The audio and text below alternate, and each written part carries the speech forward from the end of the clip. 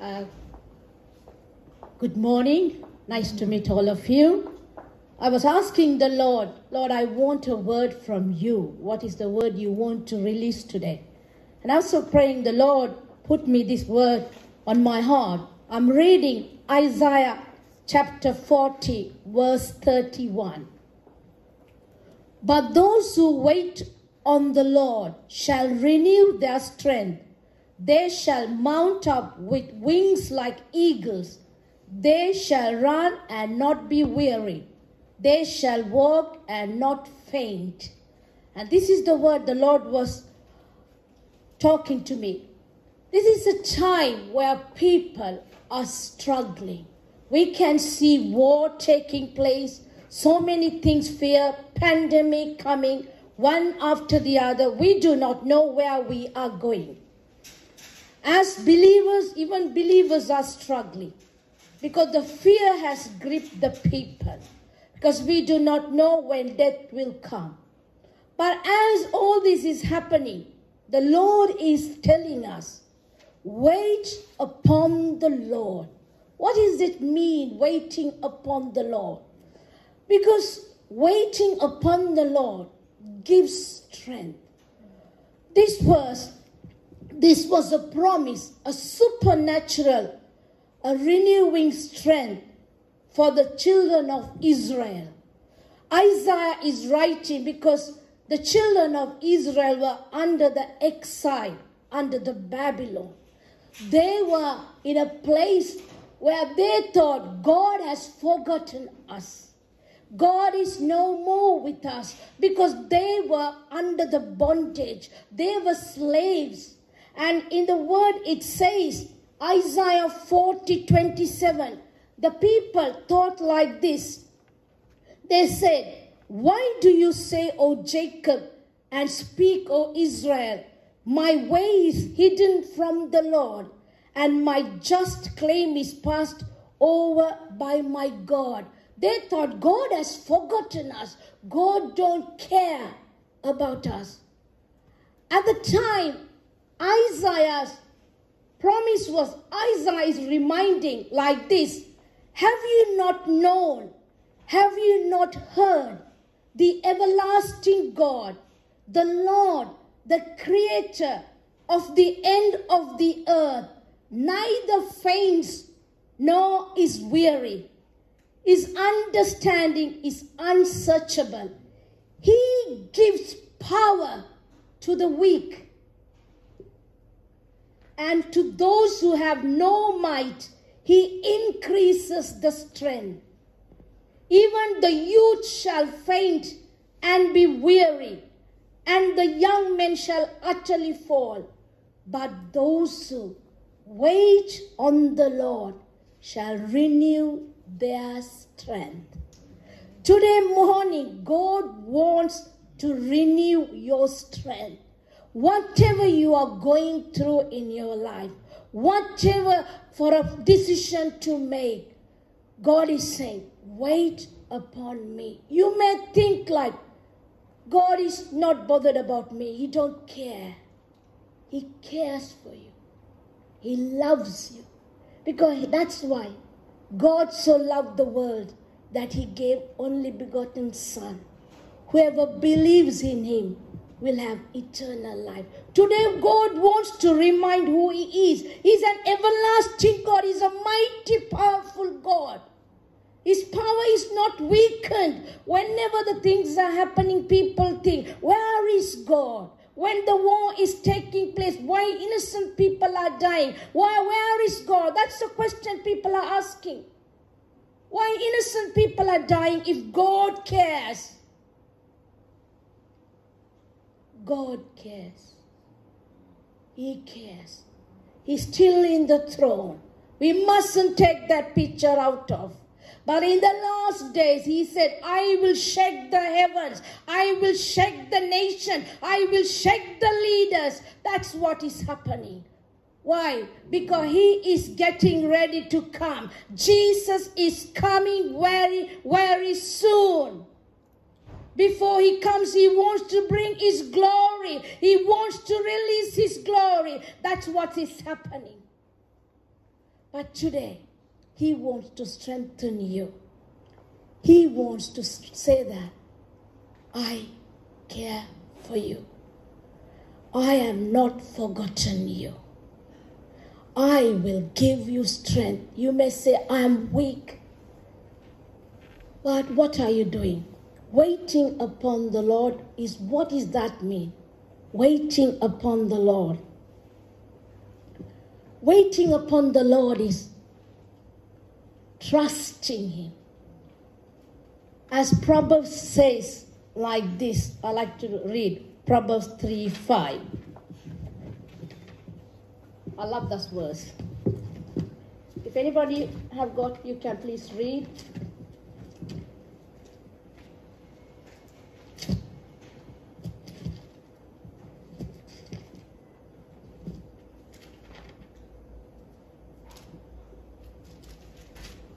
Proverbs 3 5 says, Trust in the Lord with all your heart and lean not on your own understanding. In all your ways, acknowledge him, and he shall direct your path. Waiting upon the Lord means asking help from God. Asking, Lord, I believe whatever I ask that you are able to do it. You are able to turn around things, though things sometimes make to see like they're turning into a bad situation, but you have to believe God can turn the bad things into good. He has done it. Sometimes we think in my life I have seen so many uh, miracles. I have to tell you, I am a missionary who came to this country 22 years ago. When I came, the Lord gave me a date and said, on the 10th of March, you will be in United Kingdom.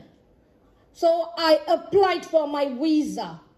When I applied, the embassy rejected my visa. Now I have got a date saying that you will be on the 10th of March in United Kingdom. So as I applied, my visa was rejected. And I went to the Lord, and I start praying, and I say, Lord, they rejected my visa. You say I'm going. So what is happening? And as was praying, I heard a voice from the Bible is Isaiah 11. There's a verse. The Lord of hosts has proposed this. Who can deny it? The Lord's mighty hand is stretched out. Who can divert it? That's it. I took the word and I started to pray. I said, Lord, if you are saying you have proposed, then who can deny? Because you are mighty God. You are the creator of the universe. You are the King of kings. You are the Lord of lords. I was praying and I heard the voice say, Take some money and go back to the embassy. Right? Okay. I was rejected. I stand. But I, by faith, I went to the embassy and I said, My visa is rejected. Can I face an interview? They said, Oh, no, no, you're already rejected, so we can't give you. I said, Please give me a chance. I don't know what happened. The lady said, Have you got money? I said, Yes, pay the money, but the money is not refunded. Okay? And gave me a date. So I came home and I started praying. And the miracle was by faith. I told my cousin, book a flight for me to go on the 10th of May, landing to United Kingdom. And he was laughing. Virginia, without the visa, you can't go to, you can't book a ticket. I said, no, my visa is coming by faith. And then he said, There are no flights that is going to UK on the 10th of March landing. Then God can't make a mistake for me. And I said, Lord. And suddenly, after a week, he said, There's a flight coming from Singapore touching Sri Lanka and going to United Kingdom. I said, That is my flight. That's my flight. That is the flight. And book for me. And he was laughing because he's not a Christian. And long, short story. And, and he booked and said, okay. And I said, my visa is coming. And I went for the interview. The Lord has prepared somebody for me. And by the grace of God, I got my visa. And I landed on the 10th of March at 6.30 at United Kingdom Airport, Heathrow Airport. Amen? Yes, amen? Amen. That's the thing. Sometimes things don't work When God says something, it will not immediately happen that way. Sometimes you have to face. But the thing is, that means it's not God is not in charge. God is in charge. He wants to show his mightiness because he's a God who keeps his promise. He said, I am not a man to lie. Amen. He is God. He is faithful to His promises. He is faithful to His word. His word says, Whatever I speak, it will not go empty. It will accomplish what I desired. Amen. This is the Lord we have. A God who is mighty who is so powerful.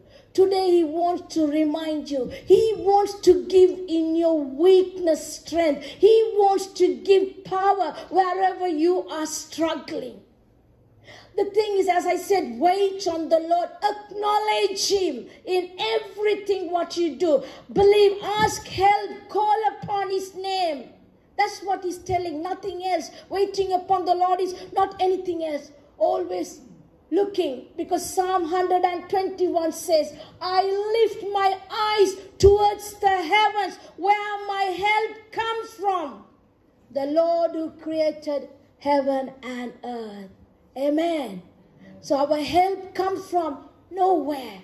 Our help comes from the Lord who created. So are you weary this morning? Are you weak? Because the Israelites were weak in their physical as they are spiritual. They have given up hope because they are under the slavery. Still, God has forgotten. There's no way for us. They forgot who God was. But God still loved them. And He made a way for them to come out of it. It's a God, supernatural miracles He did, and He brought His people. Today, it's the same God wants to same thing. Yesterday, today, forever. He is the same. He will never change. He will never change. Amen. Because when I'm, I was a young girl when I lost my father, and I was a rebellious person. At that time is the time the Lord touched me, and I had cancer. I had breast cancer. The cancer was a genetic thing in my family. But four people had cancer, bone cancer, womb cancer, breast cancer, all kind of cancers. And that is the time I challenged God. I said, if you are a living God, you say you are the living God, prove to me. If you give me life, I will live. If you want me to die, I'm ready to die. I was that. He said, I will give you life and you will be a testimony and you will preach my gospel. And he healed me. Amen. And that's why I became a missionary. I gave my life. And I am today, I'm in good health. Amen. I'm married and I've got two girls. Amazing, isn't it? This is the Lord we worship. We must know who we are in Him. You can trust Him. You can. Put all your weakness, all your weariness, because He wants to give you power. The power what He gives, no one can give. You know why He gives us power? Because the Bible says in Matthew 11 28. I want to read that.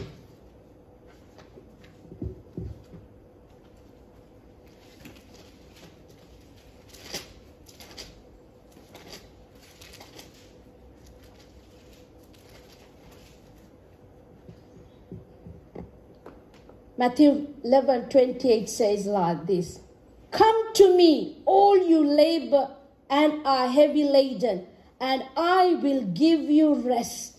Today, God wants you to give you rest. I read it in the Old Testament, but in the New Testament, now Jesus is calling. Come, all those who are weary, all those who are weak, come, I will give you rest. Why?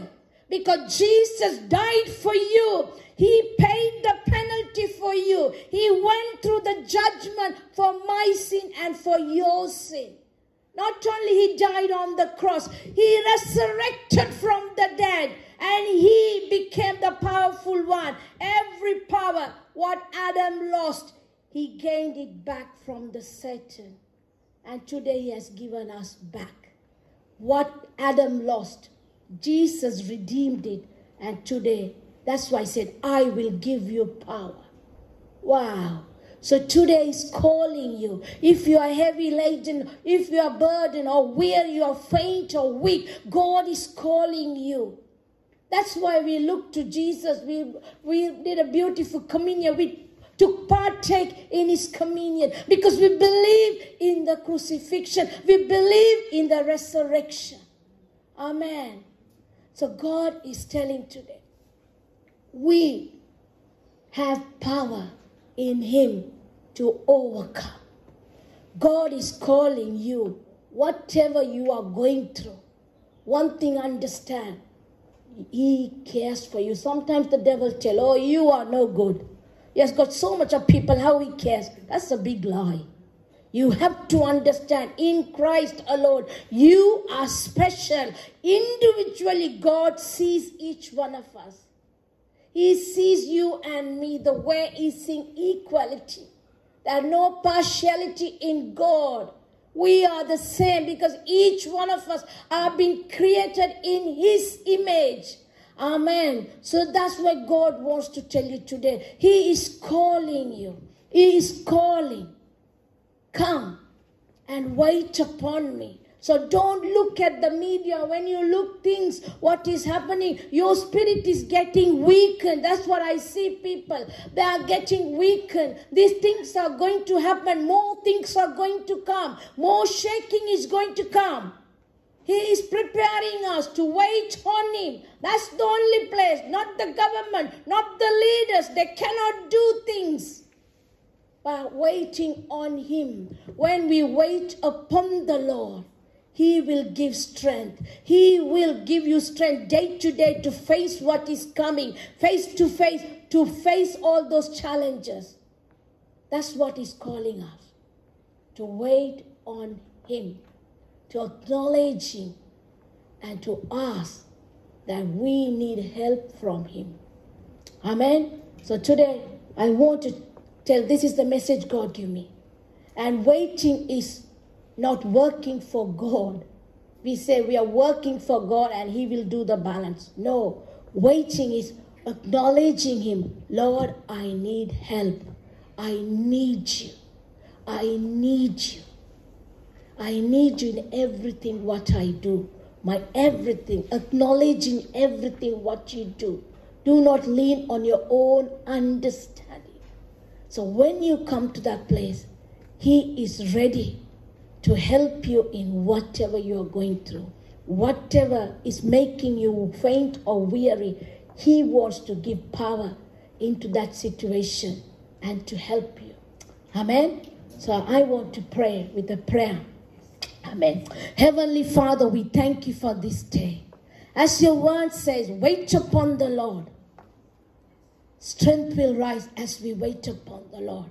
Father God, whoever is right now in weak, in spirit, in physical, I pray, Father, that you will empower each one of them, Lord. We come to you, as your word said, come to me, those who are weary, those who are faint, I will give rest. That's the only place we can see today. We can't go anywhere else. There are so many things happening around the world. But we this morning, we decide, we choose to come to you. We want to wait upon you because we know as we wait on you, you will renew our strength like eagles to soar with you. Strength will rise as we wait upon the Lord, as we wait upon the Lord. Strength will rise as we wait upon the Lord, as we wait upon the Lord. Yes, Lord, as we wait on you we will receive your strength. We will receive your power. And I pray today in this place, Lord, whoever is waiting upon you in the coming days, that you will physically, spiritually, you'll empower them. You will, Lord, strengthen them to face the day to day. And that they will know God cares for me. He loves me. Jesus, we thank you for what you have done. Thank you, Jesus, that we can come to you knowing that you have paid the ransom. You have finished everything for us. So this morning, as we open our hearts, Lord, bring closer to you. Strengthen us, empower us, so that we will reveal your glory in the coming days. In the midst of all the chaos, in the midst of all the darkness, we will be strong because our faith is in you, because we are, our eyes are upon you, Lord. So I pray, bless each one of them as they go. In the coming days, they will see your power, your strength in their life. Thank you, Father, for what you are doing in our life. We give you all the glory, all the honor. In the mighty name of Jesus, we pray, Father God. Amen. Amen. Thank you.